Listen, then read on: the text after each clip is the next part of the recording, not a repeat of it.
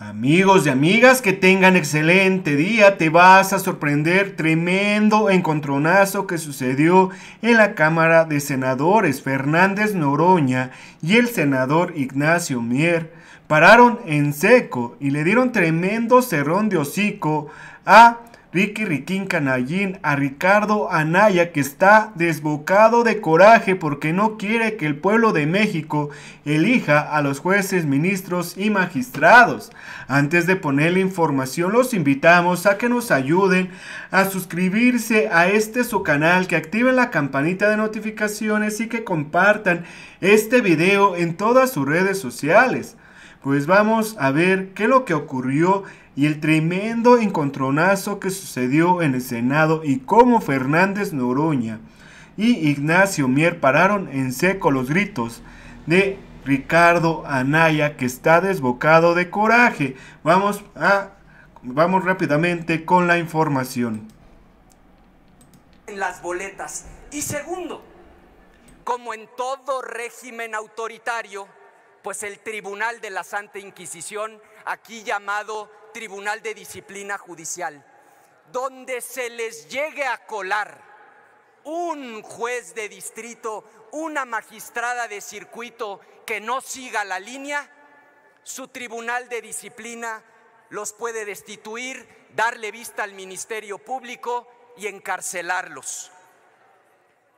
Engañaron y volvieron a engañar, porque después dijeron que tuviéramos paciencia, que en la legislación secundaria los comités de evaluación serían la garantía de que los mejores perfiles llegarían a ministras y ministros de la Corte, a juezas y jueces de distrito, a los tribunales colegiados de circuito.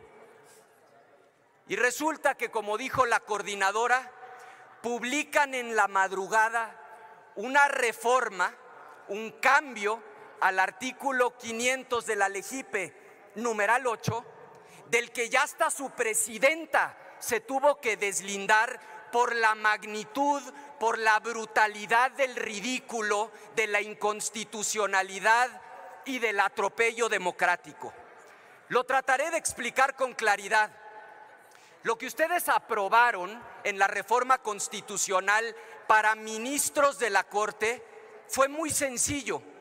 Paso uno, que se registre el que quiera, con que tenga ocho de calificación y una carta de una vecina, lo aceptamos como candidata y candidato a ministro de la Corte. Paso dos, el comité de evaluación reduce la lista a cuántos? A diez. Así lo dice la Constitución. Paso tres, la tómbola, la insaculación para de esos diez sacar tres.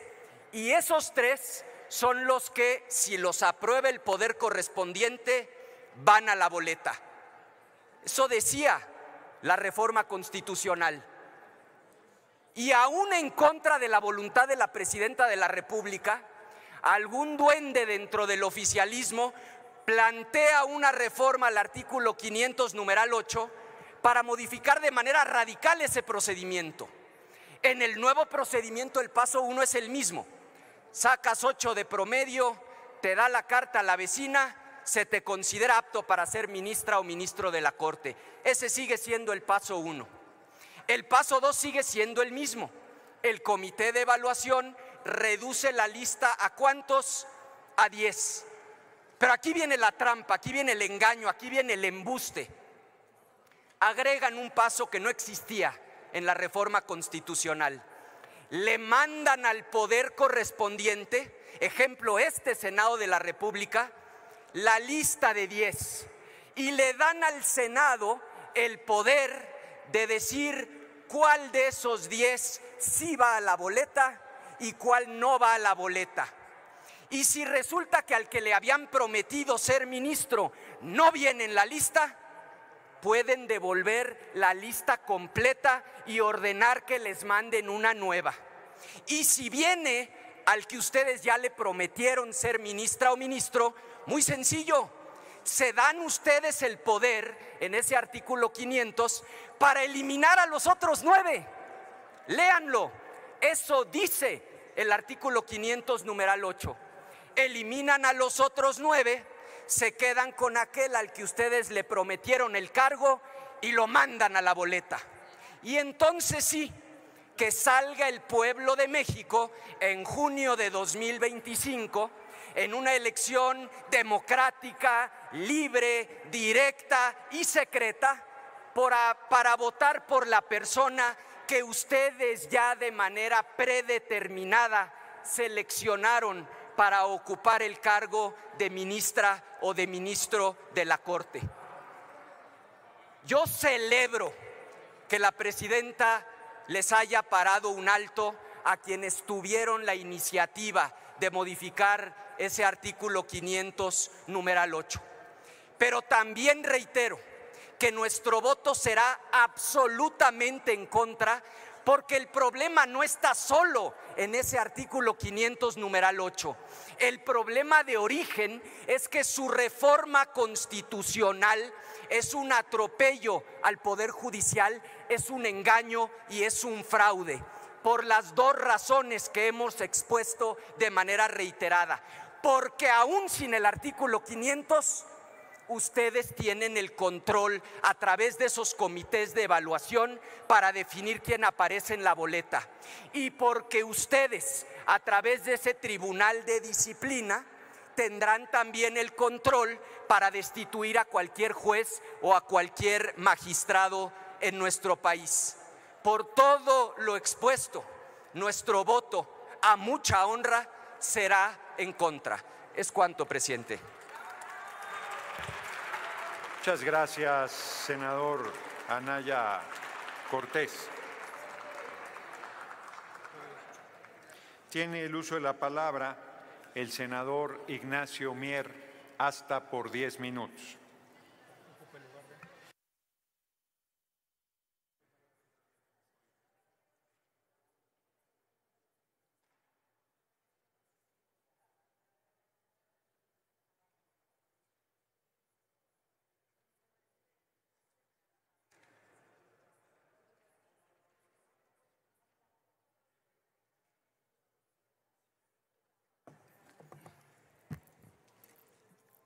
Buenos días a todas, a todos.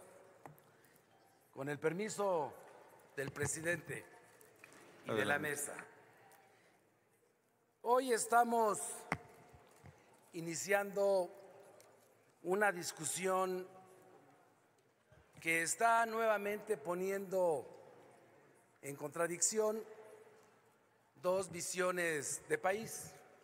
Y como bien dijo quien me antecedió, más allá de radicalismos, hay que hacer algunos primeros reconocimientos.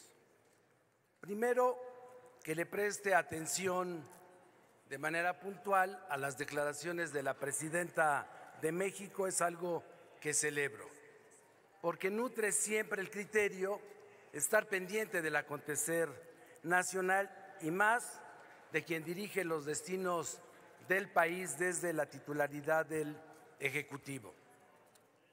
También celebro que tenga un conocimiento meridiano de la República de Cuba y que en ese reconocimiento de la música no lleve implícito reconocimientos de la música en otro sentido. Quiero comentarles que el proceso legislativo compañeras y compañeros, es nuestra tarea fundamental.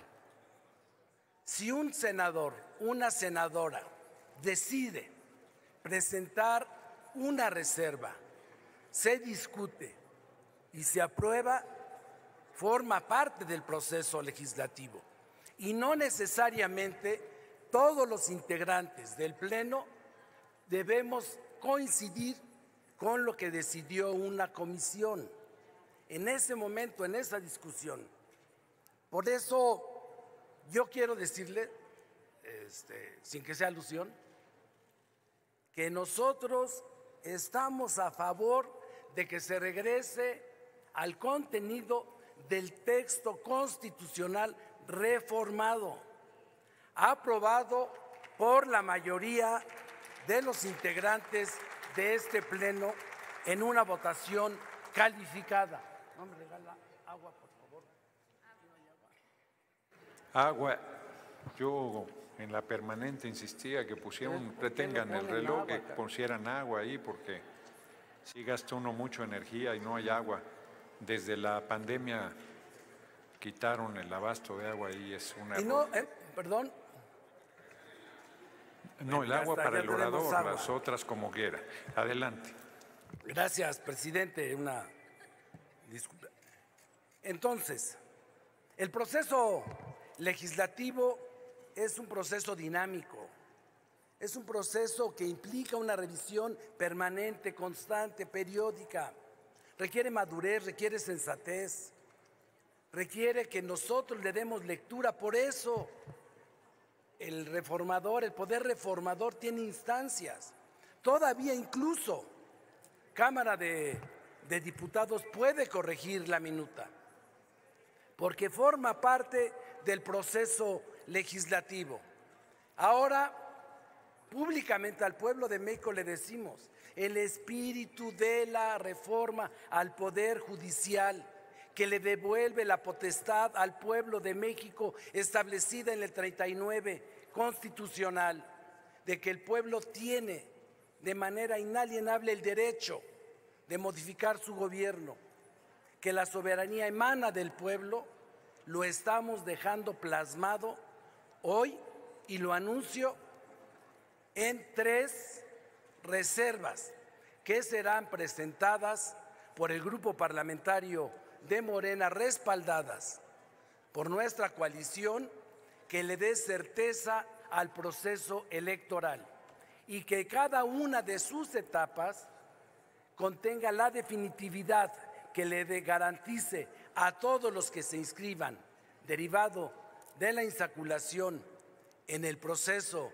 de electi- electivo de jueces, ministros y magistrados, sea conforme a las atribuciones que van a tener los comités técnicos y cada uno de sus poderes. No va a haber de ninguna manera ningún veto para ninguno de los aspirantes. Reitero, la vocación que tiene nuestro movimiento es democrático. Me parece verdaderamente maniqueo que se venga a reconocer que ya no- que hay en este proceso un voto en contra por parte de la oposición y que por otro lado se esté cuestionando una reserva. Yo pediría consistencia política, pediría a todos los participantes en este debate que seamos consistentes políticamente. Si estamos en contra hay que manifestarlo públicamente. Se manifestó públicamente con su voto que están en contra de la reforma. Nosotros estamos a favor de que haya un proceso democrático, electivo de jueces, ministros y magistrados.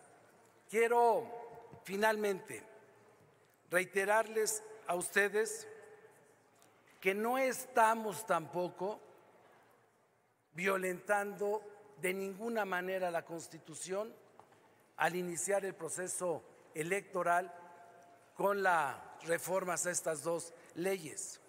El octavo transitorio de la reforma establece claramente la facultad que se le da al poder reformador para que elabore las leyes necesarias para sacar adelante el proceso electoral.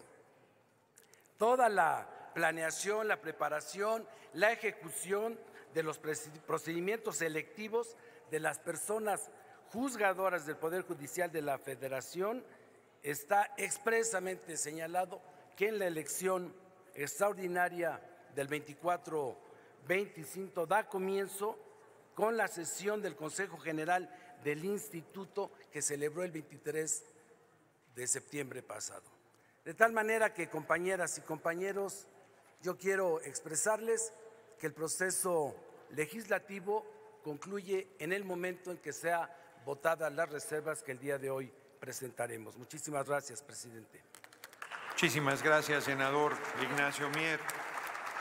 Quiero pedir a la Secretaría que dé lectura al numeral 2 del artículo 88 del reglamento del Senado. Con gusto, presidente. Doy lectura. Artículo 88, numeral 2.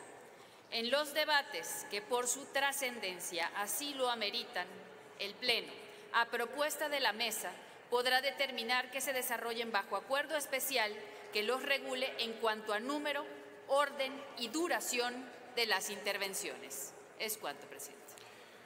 He pedido que se lea este artículo porque en la intervención del senador Ricardo Anaya me solicitó que se respetara el tiempo de 10 minutos y bajo el argumento que se había dado era procedente su solicitud.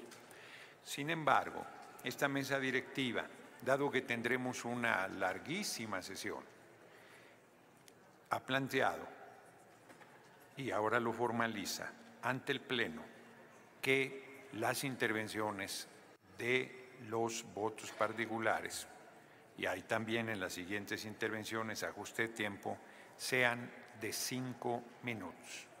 Por lo tanto, consulta en votación económica a la Asamblea si se acuerda este tiempo de intervención para los votos particulares. Antes, la senadora Carolina Villano.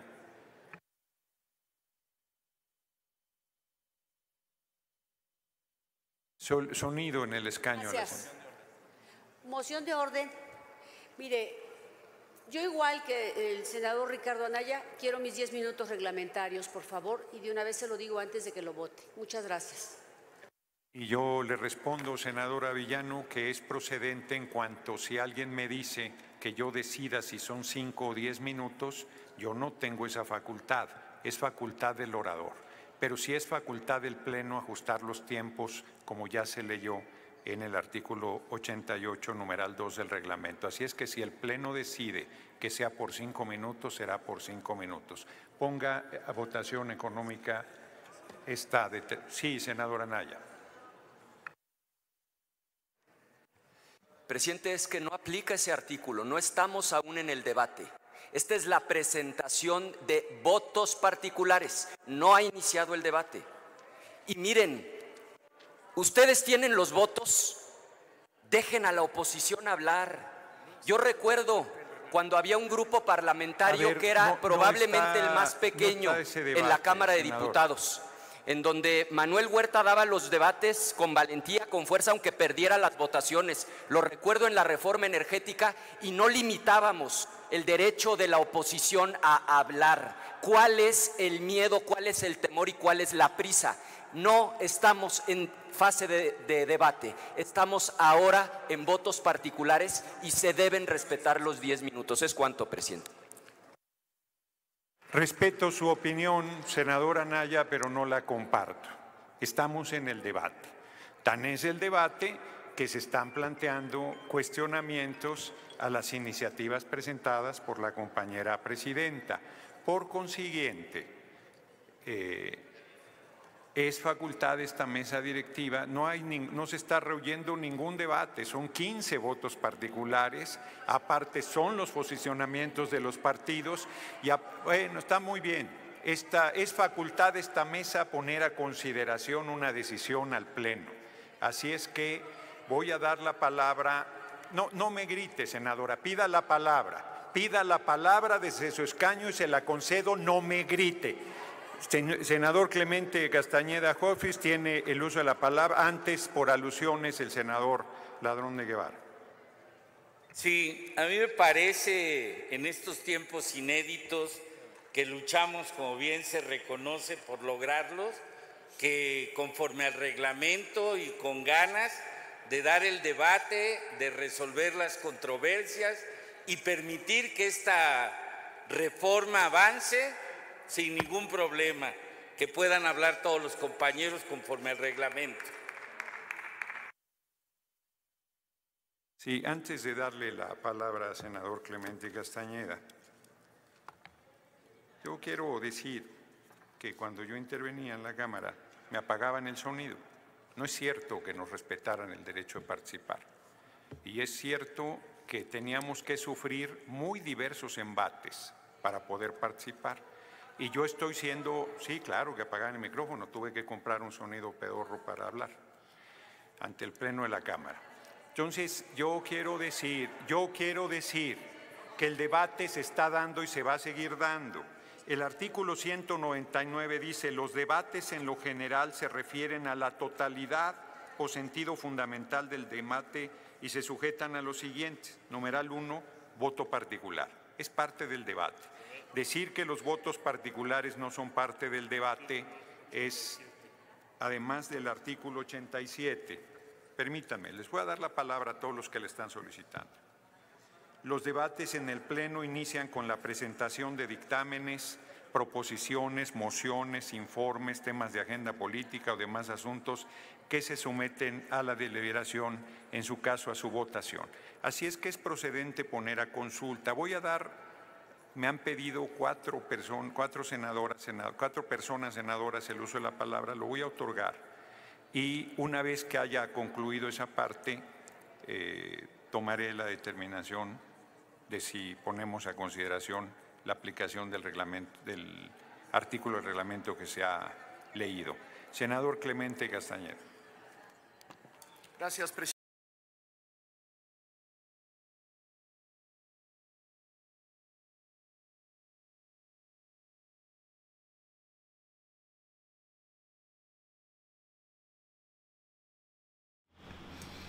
Bueno amigos, si les gustó toda esta información, comparten en sus redes sociales, activen la campanita de notificaciones y dejen sus comentarios. Nos vemos hasta la próxima. Adiós.